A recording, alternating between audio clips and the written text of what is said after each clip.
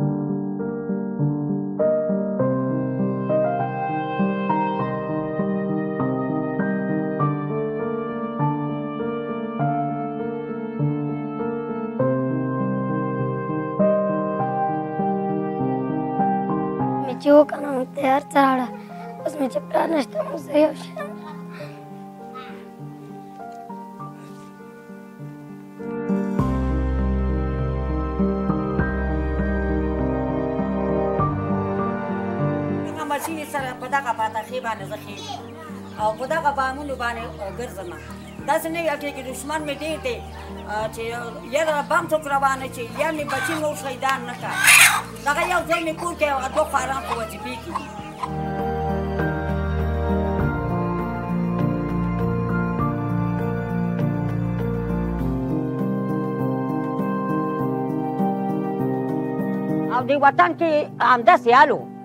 او په دی وطن باندې جنګ همداسې انقلابي نو دا شپږ خو مې شهیدان شو خو دغه کومه پاتې زېښنده چې ده که نه دا مې په دې افغانستان په خاورې وقف کړي دي